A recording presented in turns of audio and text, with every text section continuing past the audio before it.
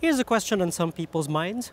Should I get a crossover or should I get a big seven-seat SUV? Well, allow me to introduce to you the Subaru Forester, which presents a very strong case for you to get a crossover.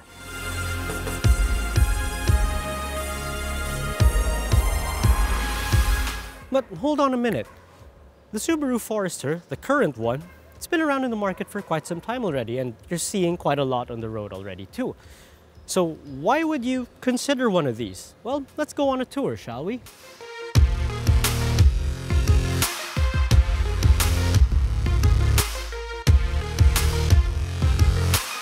Now on the surface, the Forester, well, it doesn't really try to convince you to get a crossover over those big pickup-based SUVs.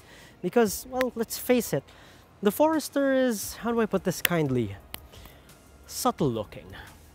But perhaps that's the good thing about the Forester. Its design is good for people who value subtlety and well, blending in just a little bit. And when you take a closer look at it, well, you might appreciate some styling details here and there. Now, when you look at the front of the Forester, well, it's been a familiar sight since 2009, and that's not because it's been the same car since 09, it's because they've just evolved that styling just that little bit. But hey, if it ain't broke, don't fix it, right? So you got these pretty sizable headlights, huge grille, and well, tastefully applied chrome around here are the fog light housings. Now this is the 2.0i-S model, it's the mid-spec model. That's because the Forester GT is now the new top-of-the-line model. So what do you get for this mid-spec Forester? Well, you get unique fog light housings, 18-inch alloys, a bit more chrome on the side mirrors and as well on the roof rails, and my personal favorite feature, the huge sunroof up there. Now, when you park it beside the lower spec 2.0 IL EyeSight, well, the differences, well, they're not they're not gonna jump out immediately, but well, they both require a closer look, and I say these nice little touches done to the 2.0 IS, well, they just make it well, stand out just a little bit more, even if the body itself, well, it's a little bit subtle. Now for the rest of the Forester, well, when you look at it from the side, it pretty much looks the same from way back then, but that is familiarity and I don't think Subaru wants to alienate any customers anytime soon. And when you get to the back, you get those unique lobster claw tail lights. Now, that's the only bit that's sort of love-hate. Well, you can't fault Subaru for trying to add a bit of zing to an otherwise, well, ordinary exterior. So that's the exterior done. Let's hop on board to see what's it like inside the Forester.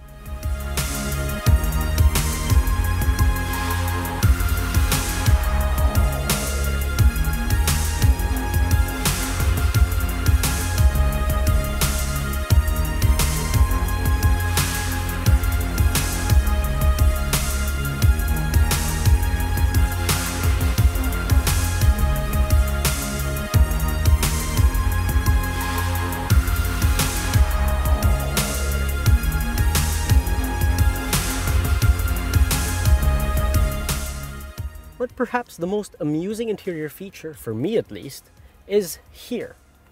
Now, underneath this shroud is the multi-information display, and it's one of the most comprehensive ones I've seen. Now, there are several menus, and this is the first screen. Now, you'll notice there is a mini digital Forester display there, and Subaru didn't do that for the sake of vanity.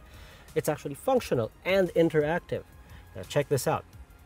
When I turn on the lights, it turns it on too turns on the fog lights and even the rear fog lights. And now for the second screen that shows you your four-wheel drive system, sorry, all-wheel drive system, and an inclinometer. And now for the third screen, so let's say this is your relevant information screen. So it shows you your water temps, your average speed, and even accelerator pressure. In this case, it's shown in a percentage. Now onto the fourth screen. Now that is your fuel economy gauge. Now the fifth screen, fairly basic, it's your clock and your calendar, just to remind you what day it is. The bypass screen even shows you a calendar and a reminder In this case, it says birthday reminder and anniversary reminder. And the latter should be handy for, well, let's just say, forgetful husbands. Now, also buried in this menu is a maintenance screen. And this is something you typically find in more higher end European luxury cars. So open the screen and it tells you when you should change your oil, your oil filter and whatnot. And you can even update it yourself if you do oil changes by yourself. It even reminds you when you should change your tires. Of course, those dates are set by you and only you would know, well, when you change your tires. The car wouldn't know that, will it? It even has a maintenance schedule.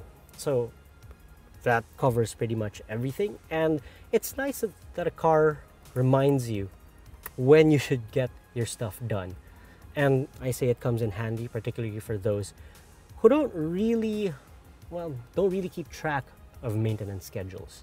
Now we come to the center stack and particularly the infotainment system. Now, like the exterior, well, Subaru followed the if it ain't broke, don't fix it approach.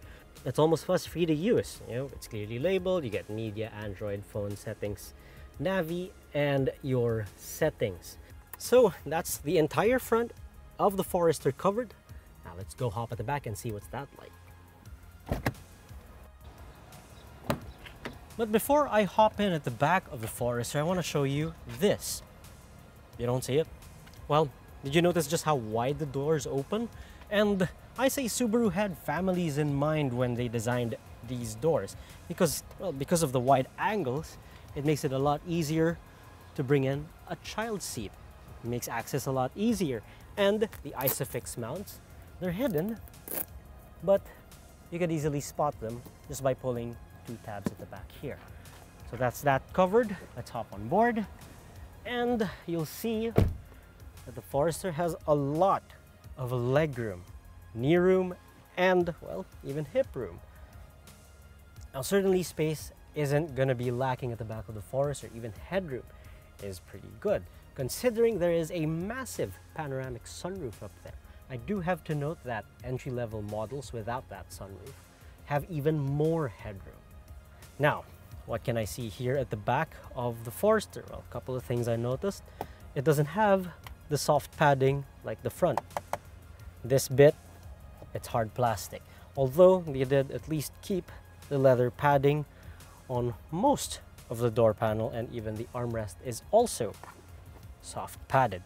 Door bottles, it can hold a one liter bottle and it is, well, fairly deep as well. And another neat feature here at the back of the Forester, you have three pockets here behind the two front seats. So you have your main pocket, which is good for magazines, newspapers, maps, and whatnot. A slightly smaller pocket for smaller items, and another small pocket just for good measure. It's also nice that Subaru put in two USB ports here at the back, which is why I'm wondering why Subaru only placed one there at the front. But I digress. So let's say you're carrying passengers here at the back, they don't have to argue over one USB port anymore. And it puts out 2.1 amperes, so it should charge your phone just that little bit quicker. So with that much USB ports and the Forester, there really isn't an excuse to run out of charge. Now for the armrest, let's see what it has. Comes integrated with two cup holders. And if that's not enough, there are two more cup holders there and a bottle holder on each door. So there's a total of two, four, six, eight drink holders here in the Forester. So that's the back covered. Since we're talking about a crossover, let's see what the cargo area is like. Now, of course, one of the reasons why you're considering a crossover is this, cargo space. Now, take this away, and here's the full view of it. Now, my observation is well, it's not one of the longest, but it is one of the widest. So that gives you over 500 liters of cargo space. It's not the biggest, I have to tell you that. But just looking at it, I'm not really going to complain about, well, 500 liters of space because you can chuck in a lot of items here. And that's without folding the second row seats. And to fold those, all you have to do is press button on each side of the panels. Same for the other side. And with the second row folded down, you have over 1,770 liters of space there. So you can stow in long items or tall items without much fuss at the back of the Forester. Now, this is the top of the line model, so it comes with a power tailgate. Now, typically, I'm not a fan of power tailgates, but I'll give a pass for the Forester because it is fairly quick. Just look.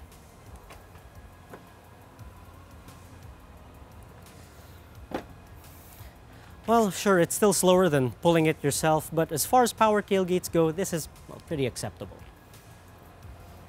But before we go for a drive, I want to show you this. Now it looks like a piece of metal just sticking out from the door, but it serves a very important purpose. See, this bit of metal prevents the doors from being jammed shut in an event of a side impact, making it easier to open when the unfortunate happens. So that shows you just how serious Subaru is when it comes to safety. So we've covered that, now it's time to go for a drive.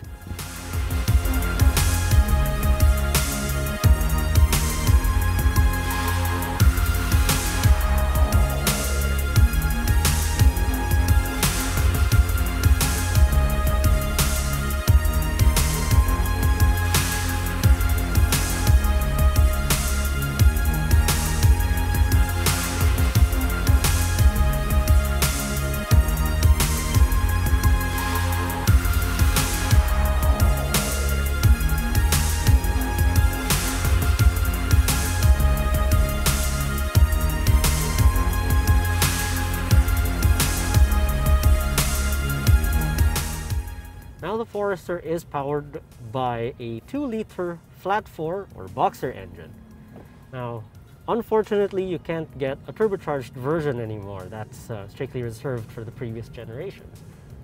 So, without a turbo, how does the Forester feel?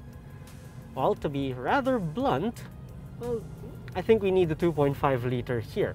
I'm not saying it's slow, but because of that extra weight of the all-wheel drive system, it does need a little more motivation when you're trying to overtake someone or something. Granted, it doesn't sound like it's running out of breath when you're doing an overtake, but you can hear the engine just being that tiny bit more vocal than usual, and you have to press that accelerator just that little bit more. Still, not for a daily drive, it's actually not bad. It's perfectly adequate. But it Really, it's nothing more or nothing less in the case of this engine. At least it does return much better fuel economy. Now, one common complaint previous owners of Foresters have always mentioned is fuel consumption. So is it any different in this new Forester? Well, in some ways, it is an improvement, a marked improvement, especially if you're coming from the past two generations. You see, this one is surprisingly efficient considering it's carrying the weight of a four-wheel drive system. Sorry, all-wheel drive system. And I've been driving from Bacoor to Quezon City every day for the past couple of days. And my average consumption so far has been 12.3 liters per 100 kilometers. So that's a hair over 8 kilometers per liter. Granted, there's a little bit of highway driving involved, but if you've noticed the traffic lately, it's been getting worse and getting heavier. So all things considered, for this Forester, fuel economy is well, much better. And it's even much, much improved out on the highway because out on the highway at an average of about 80 to 100 kilometers per hour, I saw the Forester register about 16 liters per 100 kilometers. So that's about um, give or take about 15 to 16 kilometers per liter. And those figures are unimaginable in past Foresters. Now you could easily do it with this. And I wasn't even hypermiling or anything, which makes the feat even more impressive. So if you get a Forester, a new Forester, you don't have to worry much about fuel economy. Now I have to say that one of my favorite Forester generations, or probably my favorite Forester generation, is what Subaru fans would call the SH. It's the one that's two generations before this one. Uh, I like the ride of that. I like the performance of that. It just ate so much fuel. So the previous generation, I liked it, but I just found the ride a touch on the firm side. This one is a return to form. It's much more comfortable than the previous generation. Bump absorption, very good. Now, it doesn't feel too firm, it's just right, and I could best describe the ride as supple. Granted, there are some crossovers that ride just a little bit better, but I have to say the Forester is one of the more comfortable ones you can get. Now when it comes to handling though, well, no matter what variant of Forester you get, you get all-wheel drive as standard. So that's a big benefit if you're going to places with dirt roads and stuff like that. Or if you're here, and well, right now it is drizzling, and the roads are gonna get a bit caked with dirt and grime and stuff like that, you get that extra bit of traction coming from the rear wheels. And that also helps when you're going up a slippery ramp or a slippery slope because, well, again, not only does it have stability control and traction control, you have the benefit of all-wheel drive. Now, what does that do for handling? Well, if you're driving it regularly, well, not much. But the all-wheel drive system comes into play when it comes to emergency maneuvers because you have that extra bit of road holding keeping you glued to the road. Plus, Subaru stability control system is one of the best out there. Now gripes, well it is a few and far between. I have to talk about the steering. Now, it is direct and it is precise. However, it's not the most communicative nor the most talkative. But then again, this is a family crossover. And most of the people who will buy it want something that's comfortable, easy to drive, and something that doesn't tire them out to shuttle their families with. Most of the people who will buy this, well, they're parents, mothers, fathers, stuff like that. So, heavy steering isn't really an option for this, the Forester. But the light steering does mean that, well, you're not gonna get tired driving it. But if there's another thing I would like Subaru to pay attention to is the door locks. Now, it does come with door locks, but it doesn't have automatic door locks. If you notice some cars, when you put them in drive, the doors are to lock by themselves or when you reach a certain speed. But that's just not the case in the Forester. You have to press them yourself. I'm sure that's a nice feature to have in a car from the past, but well, you expect automatic door locks in a car like this. Also, it would have been nice if Subaru also added an automatic dimming rear view mirror. You still get this rather old school toggle up here. But other than that, the Forester's fine. Now Subaru is very proud of their eyesight system, so now would be a good time to test it out. Now, I've set the speed, and what's good about eyesight is you don't have to constantly adjust it.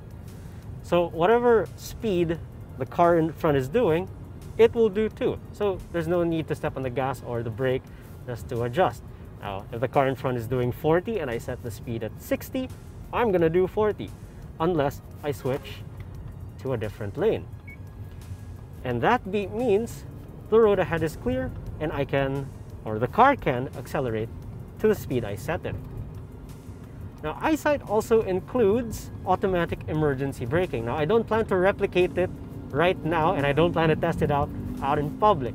But that doesn't mean I don't have faith in it. But I will tell you that it works when I last tried it out in, a, in Singapore and for a couple of times here. Now another good thing about eyesight is, you know, since it's going to follow the car in front, when it slows down, you also slow down. But when the car in front stops, it'll also do the stopping for you. So you can drive this car without much input, without much pedal input. However, that doesn't mean you should take your eyes off the road. Just because it's called eyesight doesn't mean it does the driving for you and it does everything for you. Remember, this is a driver assist and not a full autopilot system. Now, last but not least is one more feature of eyesight, which is lane departure warning. Now, the system only works if the lanes are clearly defined. So you're driving along a road with the lane's barely painted on, it's not gonna work. It's not really gonna alert you. But when you're out on the highway, let's say on the EX or NLEX or stuff like that, it will read the lanes and it will remind you that you're slowly straying out of your lane. And it reminds you to sort of steer your way back in. It does so in the most subtle and gentle way. And it's not annoying, so it's a system I would personally leave on, especially if you're going out for a long highway cruise where you tend to dilly about in between lanes. So this new Forester isn't what we'd call sporty. But then again, all non-turbo Foresters were never meant to be sporty. Well, people have it in their heads that when they say Forester, it's the turbo model. But that's just not the case anymore. The priorities of the Forester have shifted into a more family-oriented means of transport. And I'm not complaining about that.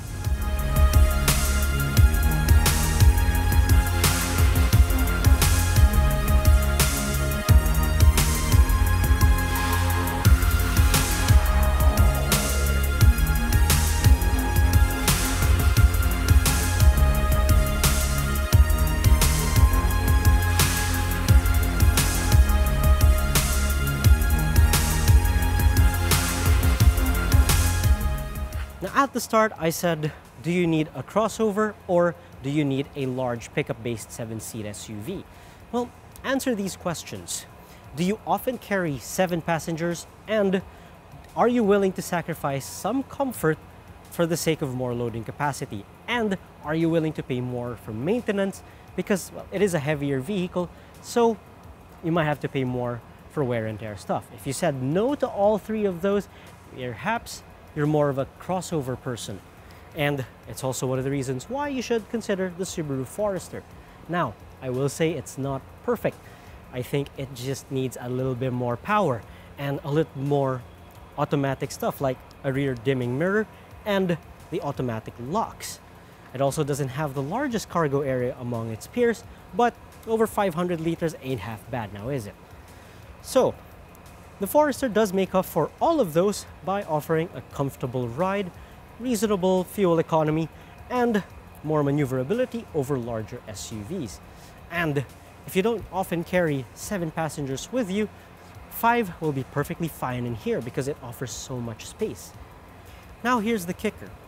This particular Forester variant, the 2.0i-S, starts at a little over 2 million pesos and knocking out the door of 2.1 million pesos. And that's, well, knocking on the door of larger 7-seat pickup-based SUVs. But again, answer those questions if you're willing to sacrifice some comfort for the sake of loading capacity. Well, you go get that bigger SUV you always wanted, but give this a try first and then reconsider your options. You'll be surprised at what the Forester can offer, even if it is smaller. Now this has been Anton Andres of AutoIndustriya.com. If you enjoyed this video, do subscribe to our YouTube channel. Also, don't forget to like us on Facebook and follow us on Instagram and on Twitter as well. Thanks for watching.